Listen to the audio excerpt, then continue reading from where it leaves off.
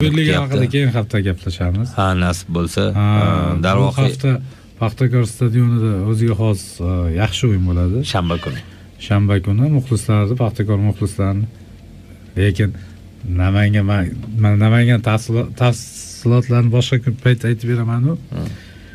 Bu jamoa chempion bo'lishi kerak. Navbahor bor.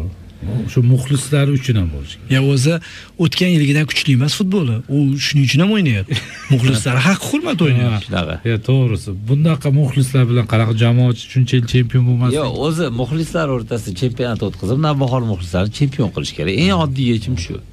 100 mingga bilet olib kira olmay o'tirib Telegramga tarqatyapti. Ko'ryapsizmi? Joyimda odam o'tiribdi. yo'q o'zi aslida Uy ham sotib olib kelgan. Ertaga. Paxtakor bilan e, Paxtakor muxlislaridan kam bo'lmaydi. Yo, Jamol hozir bekorga Paxtakor muxlislarini taklif qilamiz demadi. Yolg'izlatib qo'yishmasin jamoani. Ha, To'g'risi. to'g'ri. Mehmonda o'ynagandek o'ynaydi o'ynaganda ha, o'ynamasin. Xullas turning markaziy o'yini shanba oqshomida paxtakor navbahor barchani stadionga chorlaymiz. Shuningdek ertasiga uh, ham metallurg lokomotiv turning markaziy o'yinlaridan biri. Yaxshi o'yin bo'ladi. Aytib qo'ying har ikki o'yinni o'zim shaxsiyman shuncha reklama qildim.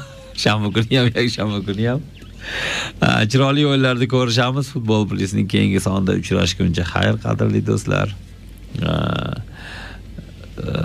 Tutayotgan ro'zingiz qabul bo'lsin.